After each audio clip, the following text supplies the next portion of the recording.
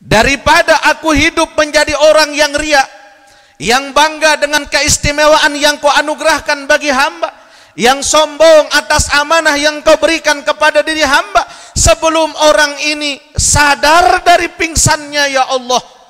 Aku ingin berjumpa denganmu ya Allah. Cabut nyawaku daripada aku hidup tidak bisa menjaga amanah darimu ya Rob. Beliau selesaikan tulisannya, beliau sholat dan meninggal di atas kitab yang beliau karang. Dikala beliau meninggal, barulah sadar orang yang pingsan ini setelah dilihat ternyata Imam Syayuti sudah meninggal dunia. Subhanallah. Kenapa? Saking beliau menjaga dirinya.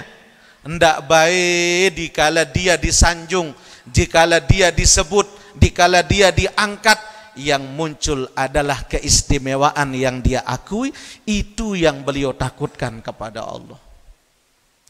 Subhanallah, inilah orang-orang yang soleh Bapak Ibu. Makanya dikatakan Imam Syayuti adalah jinnul ulama. Jinnya para ulama adalah Imam Asyayuti karena di mana pun beliau mengajar, di mana pun beliau membaca Al-Quran, Rasulullah pasti hadir di sampingnya beliau. Tapi beliau tidak ingin disebut namanya, tidak ingin diangkat orangnya, tidak ingin disebut keistimewaannya, hingga beliau meminta kepada Allah, matikan aku sebelum orang ini bangun dari pingsannya. Subhanallah. بسم الله الرحمن الرحيم.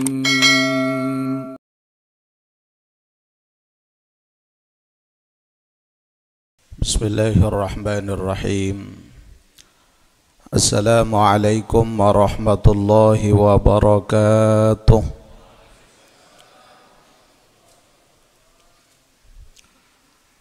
الحمد لله الذي هدانا لهذا.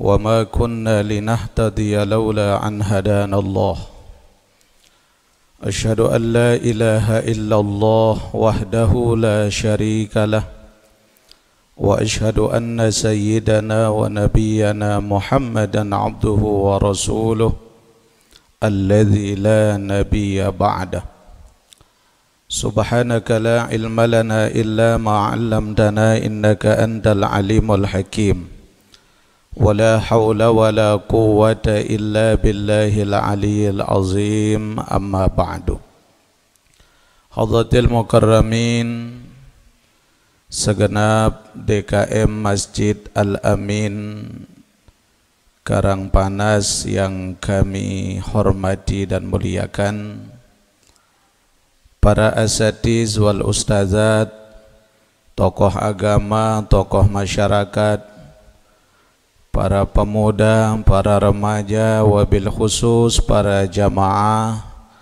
calon penghuni syurganya Allah subhanahu wa ta'ala. Alhamdulillah wa syukrulillah pada malam hari ini kembali atas nikmat dan karunia dari Allah. Kita hadir pada majelis ilmu majelis yang terbaik yang menjadi warisan termulia dari baginda Rasulullah sallallahu alaihi wasallam. Maka sebagai cinta kita kepada Rasul sebagai mahabbah kita kepada beliau tentu dalam setiap majelis-majelis ilmu kita tidak pernah lupa menghiasi dengan solawat kepada baginda Rasulullah. Salatullah Salamullah Ala Taha Rasulillah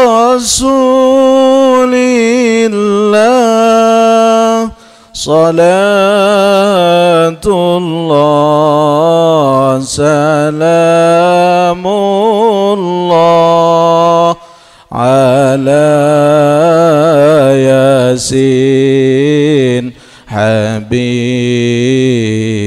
الله على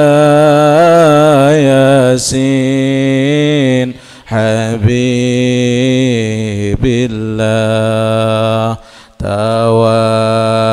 توسلنا ببسم الله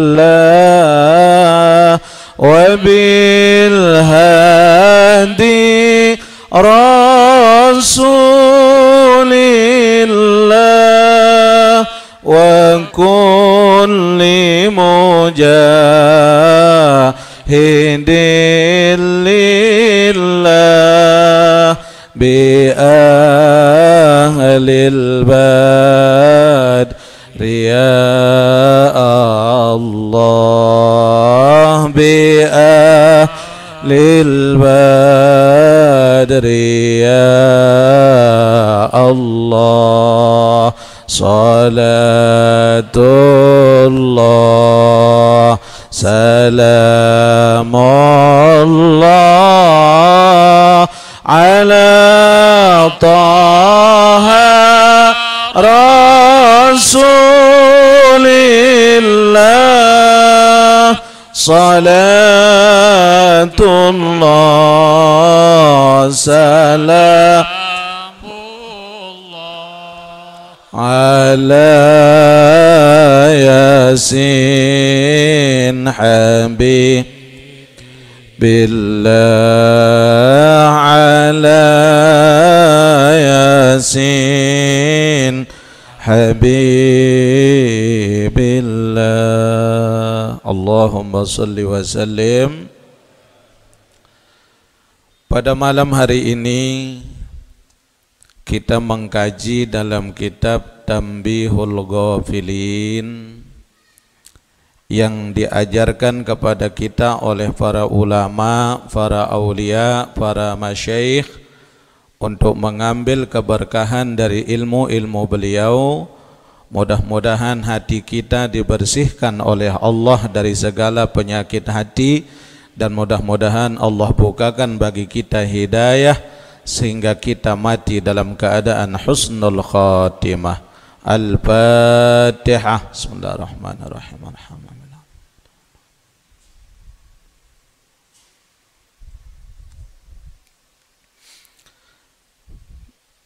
Bismillahirrahmanirrahim. Babul Ikhlas. Yang pertama menjelaskan tentang bab ikhlas. Wa qala al-Fakih rahimahullahu ta'ala Wa qala al-Imam Abu Lais As-Samarkandi. Al-Imam Abu Lais As-Samarkandi mengkutip satu hadis dari baginda Rasulullah sallallahu alaihi wasallam wa anna an-nabiy sallallahu alaihi wasallam qala inna akhwafu ma akhafa alaikum asyirku bil asyirkul asgar Sesungguhnya kata Nabi akhwafu ma akhafa alaikum satu perkara yang sangat aku takutkan di antara kalian kata Nabi yaitu asyirkul asgar yaitu syirik kecil yang ditakutkan oleh Nabi Shallallahu Alaihi Wasallam kepada umatnya adalah syirik kecil. Kalau syirik besar mungkin jarang kita mengerjakannya, jarang mungkin kita yang ngelakuin. Karena kita tahu minta kepada selain Allah enggak boleh, menduakan Allah enggak boleh. Kita sadar. Akan tetapi yang banyak tidak disadari oleh umatku kata Nabi adalah asyirkul asgar. Syirik kecil itu. Qalu ya Rasulullah wa masyirkul asgar? Maka sahabat bertanya ya Rasulullah mana yang dimaksud dengan syirik kecil yang engkau maksudkan itu ya Rasulullah? Kenapa tidak syirik besar tapi kok syirik kecil ya Rasul?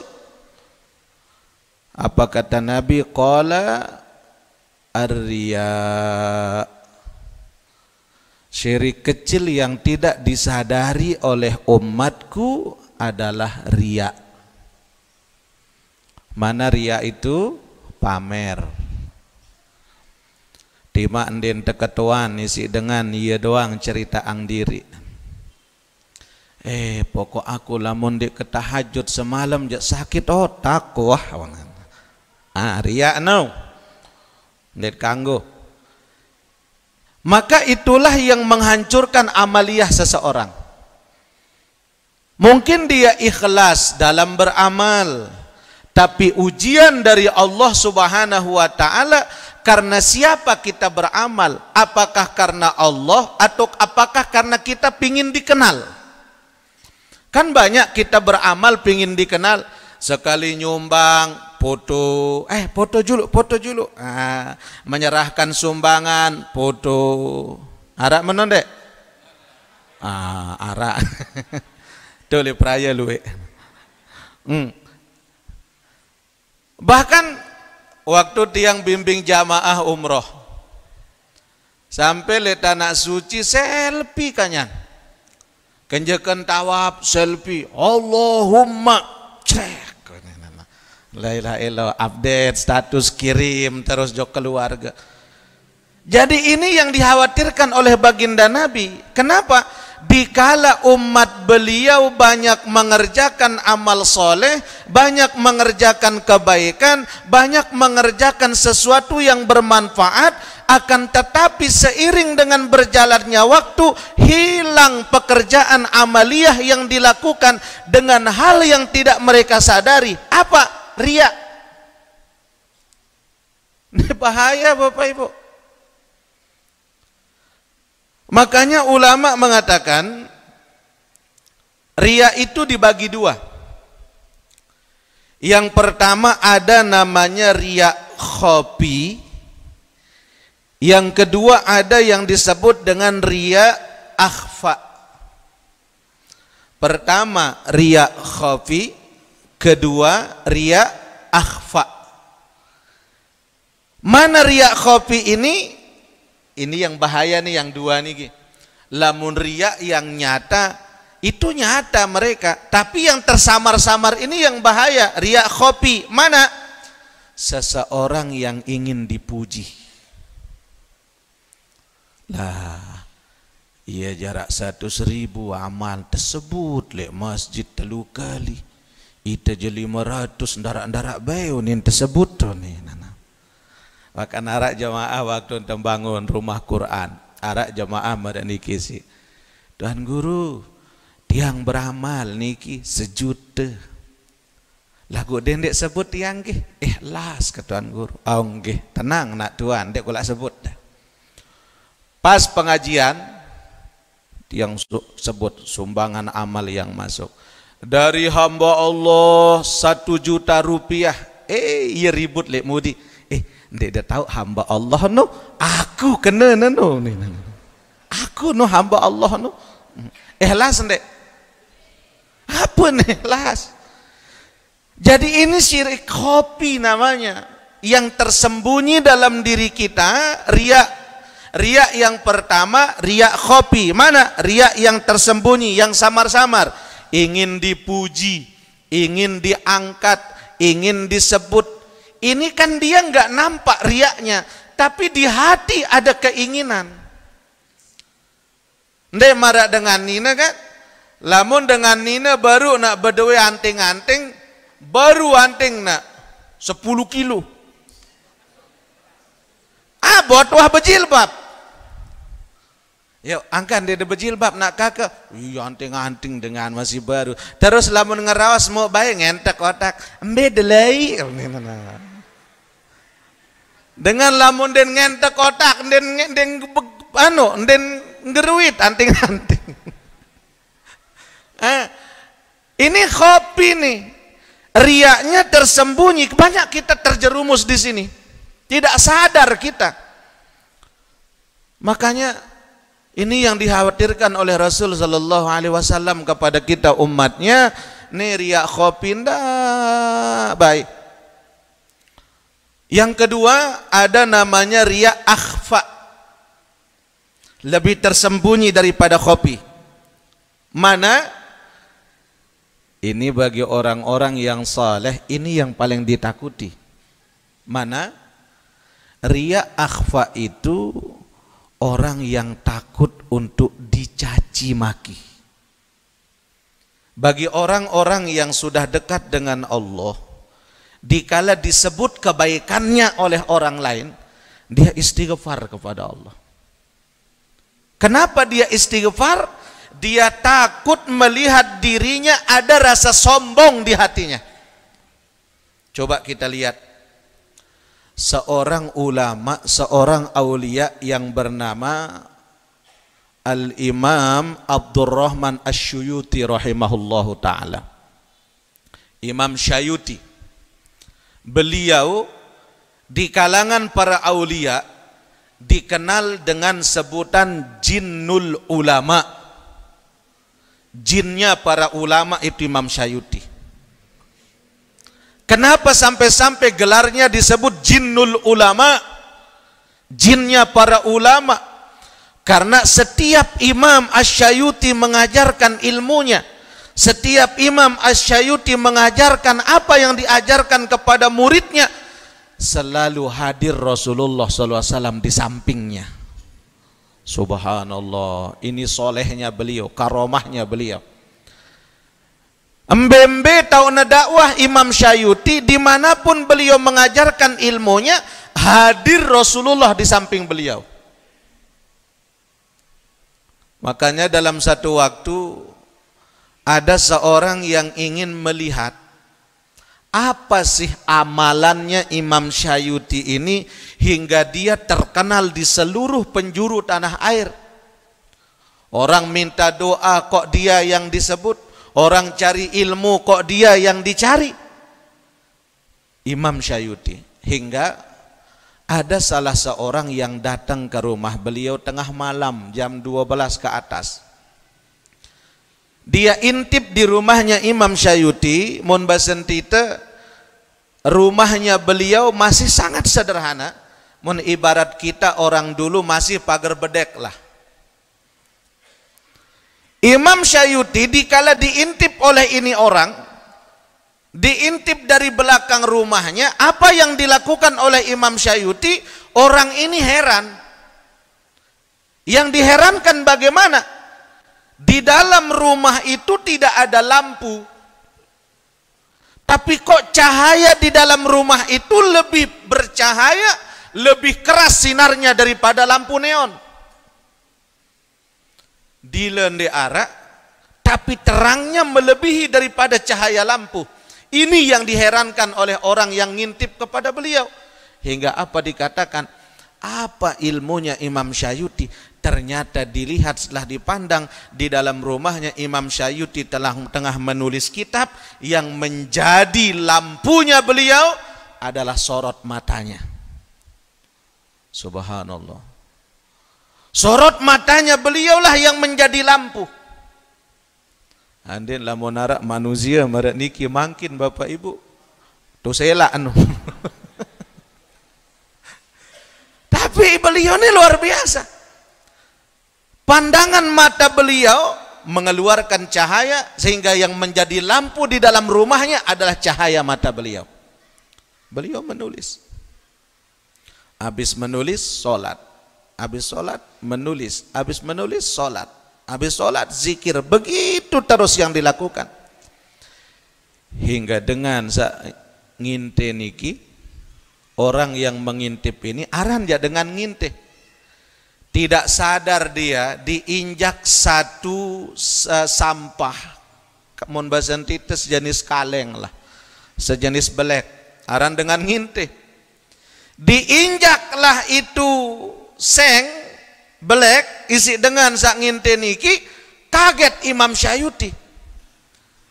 Kagetnya beliau beliau memandang kepada arah orang yang mengintip dengan saking kerasnya sorot mata beliau pingsan orang yang mengintip Imam Syayuti ini. Hingga apa kata Imam Syayuti? Beliau menangis kepada Allah. Beliau sholat. Ya Allah. Sekian lama engkau anugerahkan hamba sesuatu yang engkau katakan karomah. Satu pun tidak ada orang yang tahu ya Allah. Engkau berikan hamba keistimewaan yang seperti ini, satu pun tidak ada orang yang tahu. Tapi malam ini ya Allah, ada hambamu yang tahu tentang kelebihan yang engkau berikan kepada hamba. Jikalau dia sadar dari tidurnya, jikalau dia sadar dari pingsannya, maka dia pasti akan menceritakan apa yang dia lihat saat ini.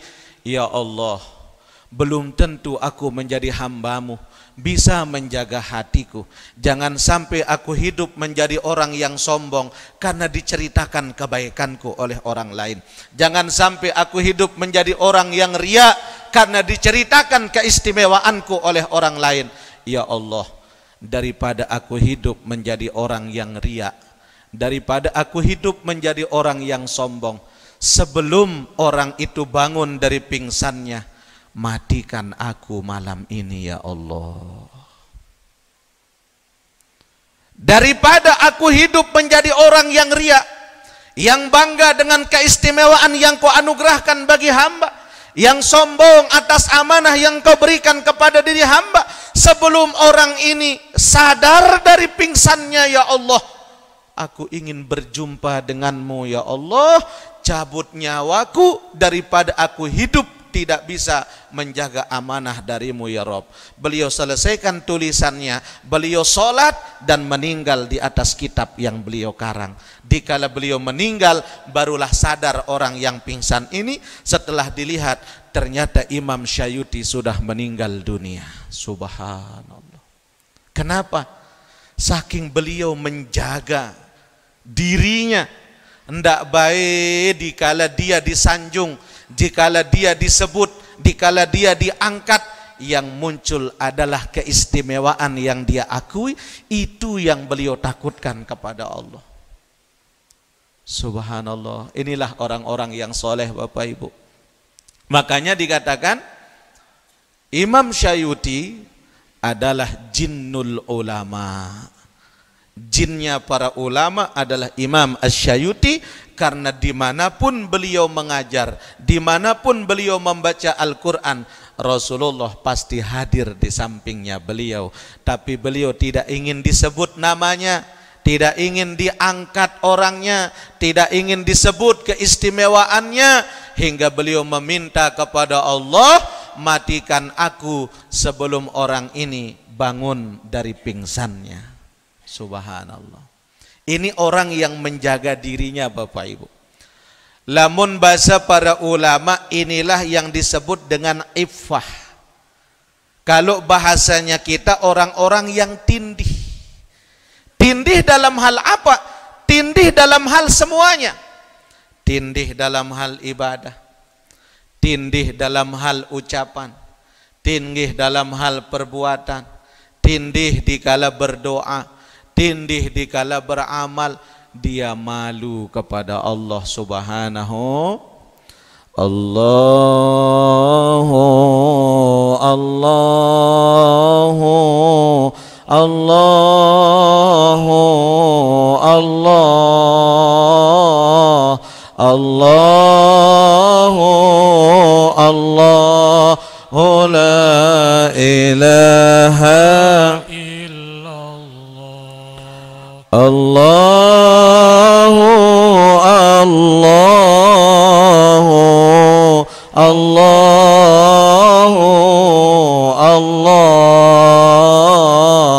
الله الله الله لا إله إلا الله. الله. الله الله الله الله الله لا إله إلا الله maka dekatkan diri kita hanya kepada Allah.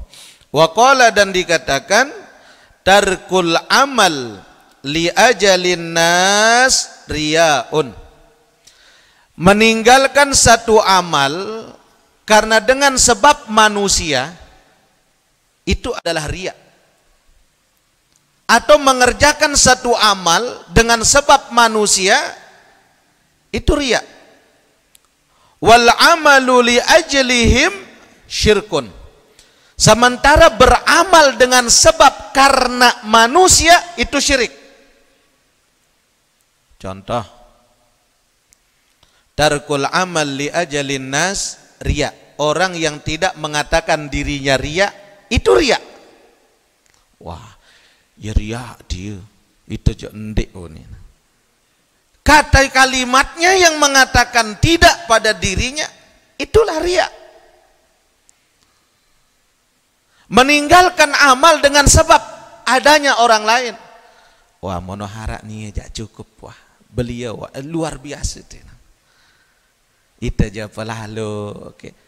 Kalimatnya yang mengatakan demikian itu riya di sisi Allah. Wal amalu li ajlihim syirkun. Sementara beramal dengan sebab orang lain itu syirik. Eh pengajian lemak lek karang panas. Ngaji au. Lah anak temu nak tuan dek tersama lek tuan tu ngaji wah. Gara-gara den semele dengan ya ampuna ngaji. Itu syirik kata Nabi. Bukan karena Allah Allah. Kan banyak kita yang begitu. Saya nggak sak iya jadi pengurus masjid tampuk tertaik masjid. Dendek gara gara-gara pengurus masjid ampun terajin jok masjid. Tapi niatkan karena Allah Allah. Toh juga saya saya jadi pengurus masjid tetap yang dilihat oleh Allah adalah keikhlasan kita. Makanya yang dikatakan ria akhfa ini orang yang takut dicaci orang yang takut dipuji orang yang takut disebut akan tetapi dia lupa kepada Allah Subhanahu wa taala. Padahal Bapak Ibu kita bagaimanapun seribu satu orang yang benci kepada kita bagaimanapun seribu satu orang yang memfitnah kita bagaimanapun seribu satu orang yang tidak senang dengan kita demi Allah itu tidak akan bisa memudaratkan kepada kita kalau tidak karena izin Allah. Tidak bisa. Sekarang panas dengan darat demen. Seampenan dengan dek demen. Satu kecamatan dengan dek demen. Dipitnah dia ke mana-mana. Demi Allah tidak akan pernah bisa memudaratkan kita. Kalau kita bergantung kepada Allah la haula wala quwata illa billahil. Begitupun sebaliknya. Bagaimanapun sejuta satu orang yang memuji tiang pelungguh sejuta satu orang yang mengangkat nama baik pelungguh tapi kalau Allah tidak ridho tidak akan bisa kerangkat kita. Kan banyak nih Orang karena menginginkan kedudukan, menginginkan jabatan, dia habiskan uangnya sampai sekian miliar. Ternyata den mau. Karena Allah tidak ridho. Tapi justru karena orang yang tidak mengeluarkan apa-apa, diangkat oleh Allah. Allah ridho. Makanya Bapak Ibu, kita ini yang kita cari dalam ibadah itu bukan surga. Tapi redonya Allah ilahi anta maqsudi wa ridhaka matlubi. Ya Tuhanku engkau tujuanku ya Allah. Kalau tujuan kita itu Allah maka selain Allah akan mengikut ke kita. Kalau tujuan kita adalah akhirat maka dunia akan kita dapatkan meskipun dunia tidak kita cari. Lamun berniat karena akhirat. Tapi kalau kita berniat karena dunia, kita dapat dunia. Kita dapat mewah, kita dapat harta, dapat semuanya. Tapi akhirat kita nggak dapat. Nah, mana lebih indah berniat karena Allah atau karena dunia? Karena Allah apa dunia? Barang siapa Allah tujuannya niscaya dunia akan melayaninya namun siapa dunia tujuannya niscaya kan letih dan pasti sengsara diperbudak dunia sampai akhir masa. Astagfirullah أستغفر الله من الخطايا. ربي زدني علما نافعا ووافقني عملا مقبولا. Hidup di dunia sebentar saja sekedar mampir sekejap mata. Jangan terpesona jangan terpedaya. Akhirat nanti tempat pulang kita akhirat nanti hidup sebenarnya.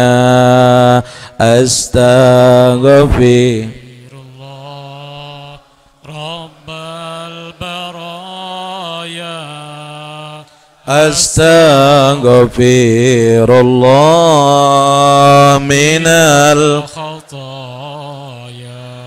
Rabbi zidni ilman wa wafiqani amalan. Makbula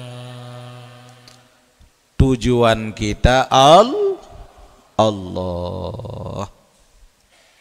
Makanya disebutkan oleh para ulama dengan kita melatih kolbu ini untuk ikhlas atas segala ketentuan Allah ini adalah, adalah bagian daripada bersucinya kolbu. Makanya kata Imam Al-Ghazali rahimahullah bersuci dalam diri manusia itu secara umum ada dua. Yang pertama bersuci badan itu dengan apa? Berwudu Syarat kita untuk bisa berjumpa Allah secara zohir dimulai dengan wudhu. Wudhu baru ampun tekanggo sholat, syarat sahnya.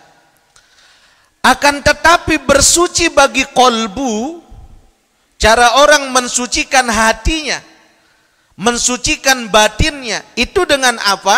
Dengan dua kata Imam Al-Ghazali. Pertama, ta'awuz dan yang kedua zikrullah. Yang pertama ta'awuz. A'udzu billahi minasyaitonir rajim. Baik yang nampak maupun yang tersembunyi dari gangguan-gangguan syaitan, kita mohon untuk dihindarkan oleh Allah Subhanahu wa taala. Baik yang bersumber dari hawa nafsu kita, baik itu yang bersumber dari kebodohan kita, baik itu yang bersumber dari hati kita agar dijauhkan kita oleh Allah. Pertama ta'awuz. Bersuci bagi hati kita. Yang kedua zikrullah.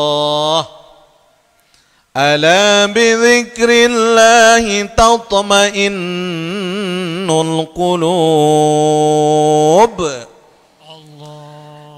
Ketahuilah dengan mengingat Allah itu akan mendatangkan kenyamanan, ketentraman, ketenangan bagi kolbu kita, bagi hati kita. Dikala ini hati kita dekatkan dengan Allah, ada tenang dalam jiwa kita. Maka dikala ketenangan dalam jiwa yang dibimbing oleh kolbu kita, udah merasa tenang, udah nyaman, udah nikmat dikala kita berjumpa dengan Allah, maka sedikit demi sedikit akan naik variabelnya menjadi an-nafsul mutmainnah. Amin. Nah, ini yang kita cari. Tapi apa tangganya? Ikhlas. Jadi ini kanggo riak ibu nggih. Nah, berembe-rembe ke sekolah anting-anting dan di kanggo di bejilbab. Ini maka-maka tebel gelang berai sereten gelang datang nanti mau berat setue izin lampak ambil dia lain nak tuan nu merasa tu isi penuh lalu gelang. Andit kanggo sombong lalu biasa baik bu bu. Ada beduin demas. Oh aja bu bu. Kalau ibu punya emas dendek sombong saya lemak lamun dawah ninggal senina kedua jari kadu ne. Agak biasa-biasa baik. Eh, makanya nih Rasulullah yang dikhawatirkan pada kita itu riaknya dek kanggo. Nah niki selapu-lapu selfie, mendak-mendak selfie. Bahkan yang kan sembahyang selfie. Mun kolok kamera le julu la ilaha illallah. Hmm. Mudah-mudahan Allah jaga keikhlasan niat kita. Amin. Ya Rabban alamin. Anna Allah Ta'ala la yuqbalu minal amali syai'an illa ma kana khalisan liwajhah. Sesungguhnya Allah Subhanahu wa taala la yuqabbalu minal amal, la yuqbalu minal amal. Allah tidak akan menerima amal seseorang illa ma kana khalisan liwajhah kecuali mereka ikhlas semata-mata karena mengharapkan reda Allah. Reda Allah yang kita cari. Meraisi tiang semalam lek tangsi nggih. Kalaupun kita Bapak Ibu, kalaupun kita ini mengandalkan amal kita untuk masuk surga, rasa-rasanya sulit. Yuk tiang baik bapak, ande lamun ngandalang amal ja aduh. Wah. Nolak tipis harapan, wah ndek tama surga wah. Karena yang tahu kadar amal kita hanya kita dengan Allah. Seberapa kita sedekah yang tahu kita dengan Allah. Seberapa zikir kita yang tahu hanya kita dengan Allah. Coba mangkin yang berketuan Bapak Ibu. Mangkin, coba. Jawab jujur. Pertama, dalam hidup ini sehari 24 jam. Kira-kira mana lebih banyak ibadah kita atau pekerjaan kita? Pekerjaan. Bagus. Satu. Lebih banyak pekerjaan daripada ibadah. Yang kedua, lebih banyak mana dalam satu hari ini? Lebih banyak mana zikir kita daripada berbicara yang tidak bermanfaat? Anden timak dekana zikir di kesadu. Telat tebeng kepeng si semama bucung. Apalagi dia tebeng, telat doang bucung. Eh, nenek kaji dia tetanjak terong Aceh isi menentun, bercerita bilang jebak. Arah menu. Hmm. Ini here ini ya doang. Lebih banyak ucapan yang tidak bermanfaat daripada zikir kita. Yang ketiga, lebih banyak mana sedekah kita daripada nikmat yang udah kita terima. Lebih banyak nikmat Allah, tapi lebih sedikit sedekah. dari tiga pertanyaan ini kira-kira nyocok kan dek tentang surga? Oh kan? Lagu pantas Abu Nuwas berdoa kepada Allah. Ilahi lastulil firdausi ahla wala aqwa ala naril jahimi fahab li taubatan waghfir zunubi fa innaka ghafirud dzambil azimi. Apa ibu? Harus dapal. Le dalam kitab disebutkan kalau doa ini zikir ini syair ini kita baca pada hari Jumat setelah sholat Jumat ia tahu baca pit balu kali. Ilahi lastu firdausi ahla wala aqwa ala naril jahimi. Li taubatan waghfir zunubi fa innaka ghafirudz dzambil azimi. To engkah azan nggih?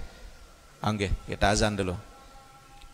ربنا يا ربنا ظلمنا أنفسنا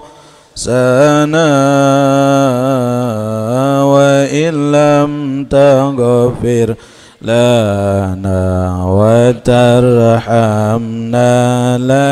لنكونن من الخاسرين. ربنا يا رب. ظلمنا أنفسنا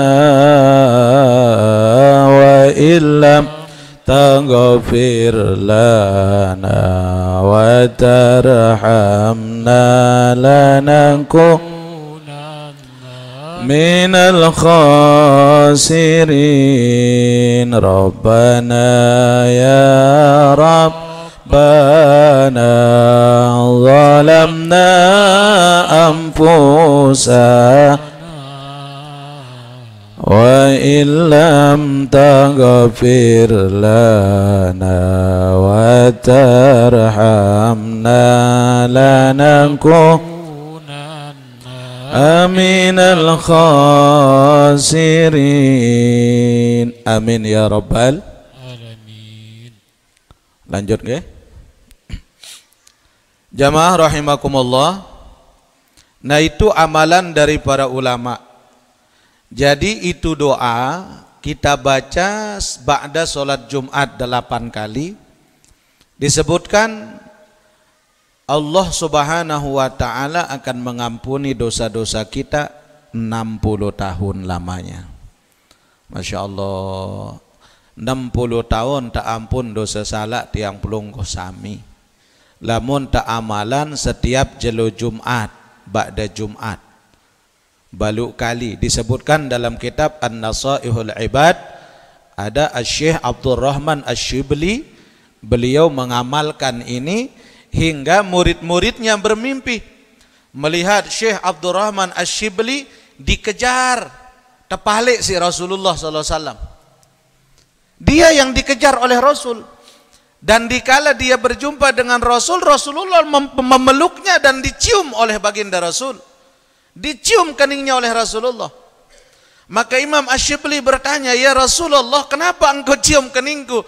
Apa kata Nabi? Karena aku cinta dengan syair yang sering engkau baca setiap hari Jumat itu. Jadi bosit hafal nggih?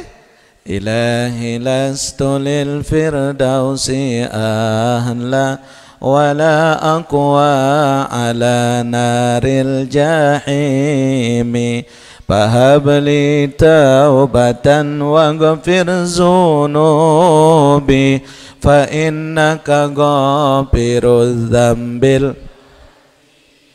hmm, tetap baca ibu lakukan di tebejumat di tempat itu sanina le balik tu baca habis solat zuhur habis solat zuhur ibu-ibu di rumah ya tu baca lagu yang kenta meriah bapak sambil meriah baca ilahi lastulil firdausi ala ngecok bawang wala aqwa ala naril nyusuin anak Fahabli taubatan wa ghafir zunubi tekako. Au. ah. Andai kambe pokok selesai solat Jumat. Ia tahu terbaca pira kali? Coba. Ilahi lastu lil firdausi ahla ولا أقوى على نار الجحيم فهب لي توبة واغفر ذنوبي فإنك غافر الذنب العظيم Panjang sebenarnya syair ini. tapi cukup sampai di situ seperti yang diamalkan oleh Syekh Abdurrahman Asyibli sampai-sampai Rasulullah yang mengejar beliau, Rasulullah yang ingin mencium beliau. Kenapa? Karena Rasul sangat cinta kepada kalimat itu.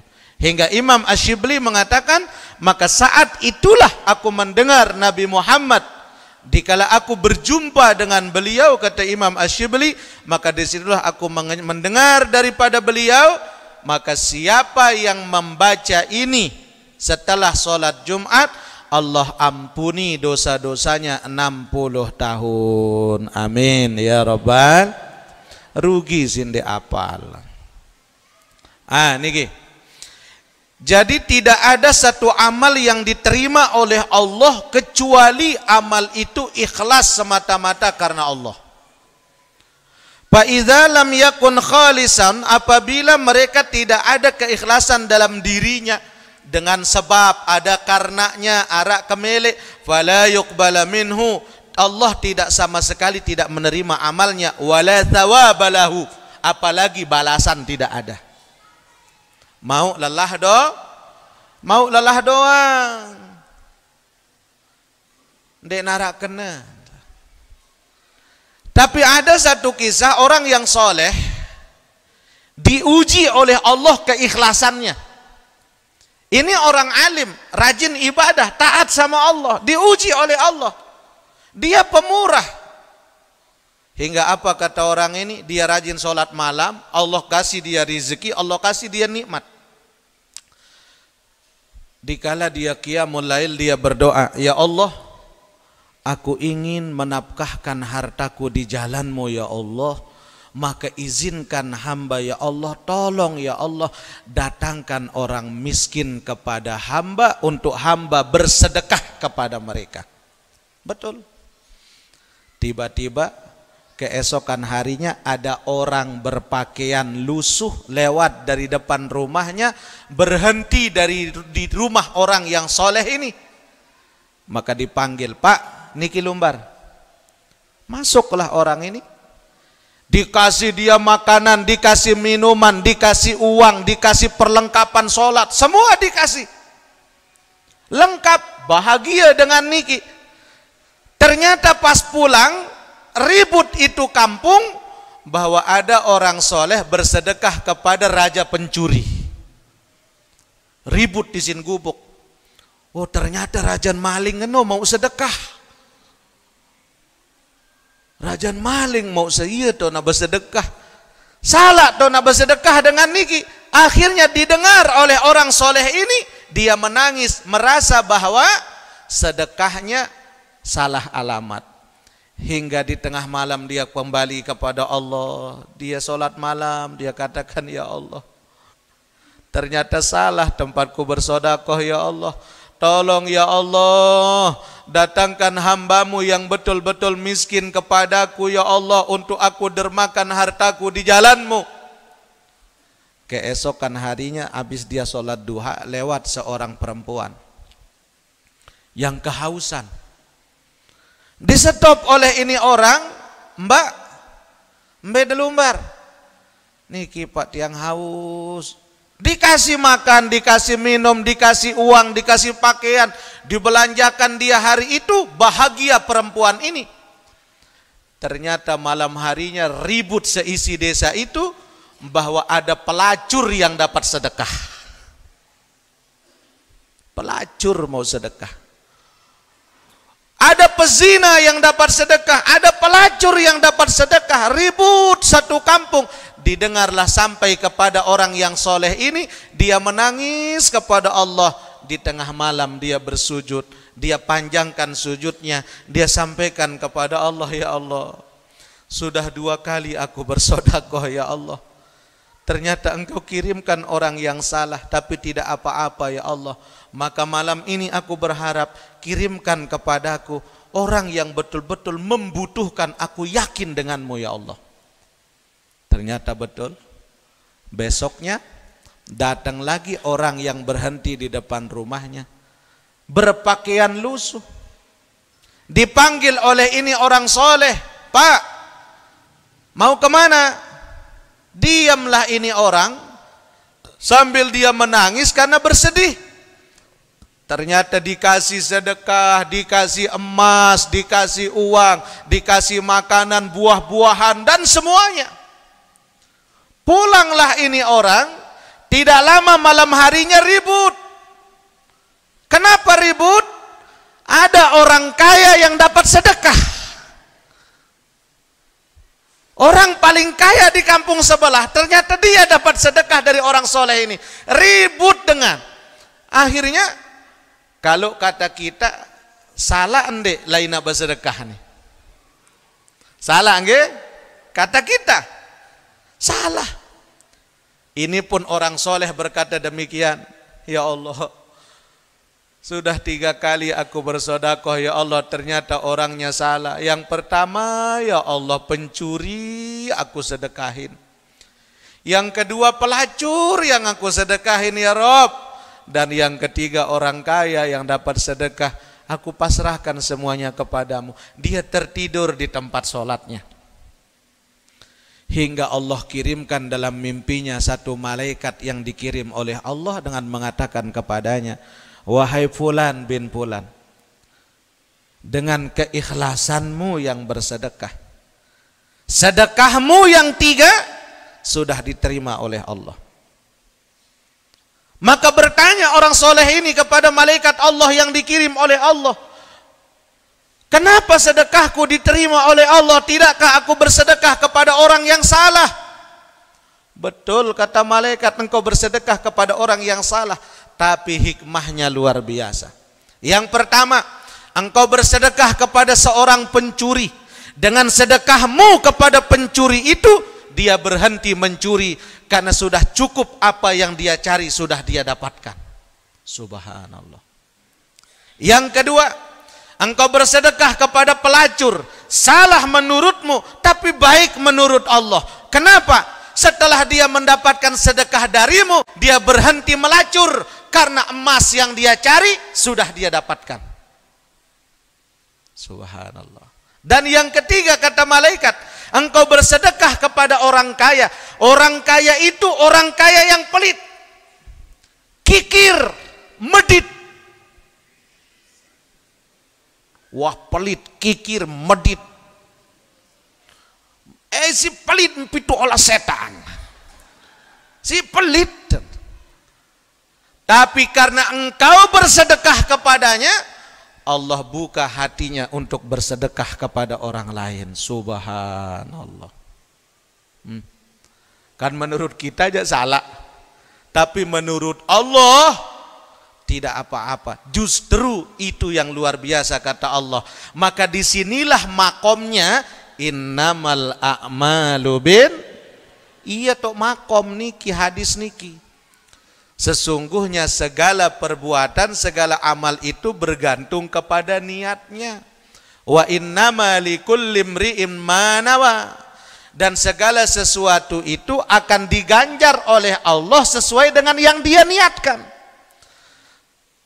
Meskipun yang kita lakukan adalah baik, yang kita lakukan adalah pengajian, tapi niatnya untuk bersaing salah. salah niat. Pokok rombok lah speaker dia wah. Rombok corong tuh andang. Halu raden nak kedok ketu hmm salah niat timak tengaji lamun niat tersalah ndara pahalen. Pahula mau atuh.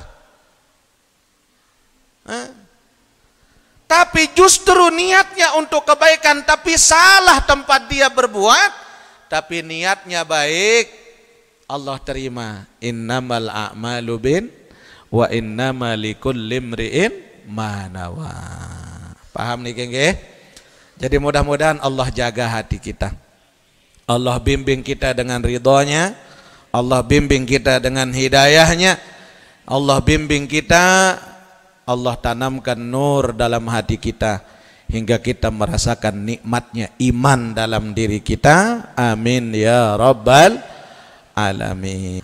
Lemak malik ara nunjuk lek muri. Berembe? Ah lemak malik? Oh lemak malik pun nggih aran deman meriap ade endah niki ibu nggih lemak malik lemak malam Sabtu gatep tuk sugulang nggih Ah, mudah-mudahan kita mendapatkan kasih sayang Allah Subhanahu wa taala.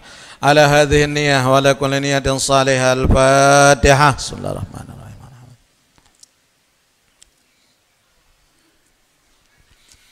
أعوذ بالله من الشيطان الرجيم. بسم الله الرحمن الرحيم. الحمد لله رب العالمين. والصلاة والسلام على أشرف الأنبياء والمرسلين سيدنا محمد وعلى آله وصحبه أجمعين. اللهم ارزقنا العلم والصدق واليقين والأمل الإخلاص والاستقامة وحسن الخاتمة بجاه سيدنا محمد صلى الله عليه وسلم.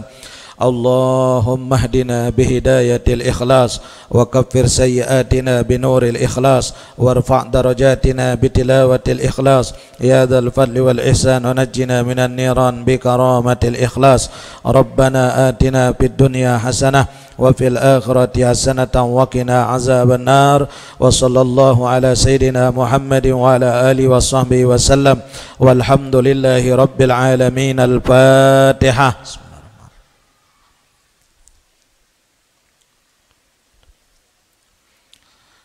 Tiang ulangi pengumuman semalam lekni ke Masjid Tangsi.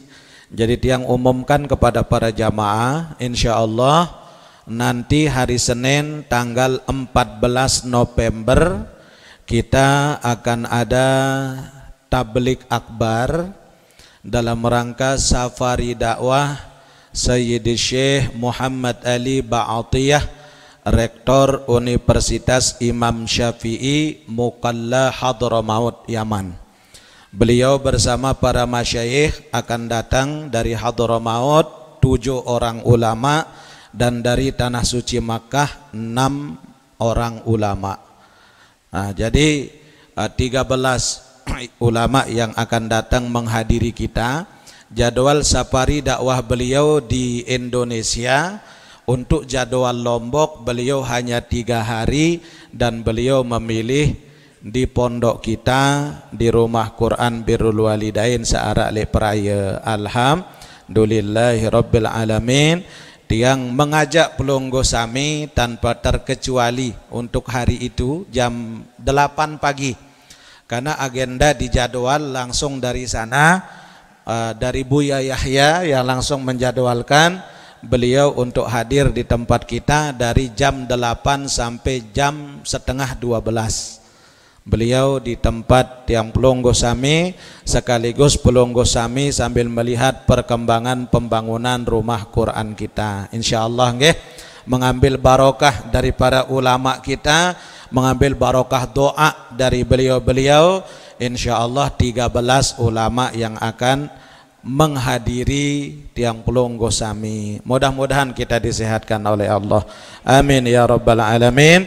Hadanallahu wa iyyakum ajmain. Wassalamualaikum warahmatullahi wabarakatuh.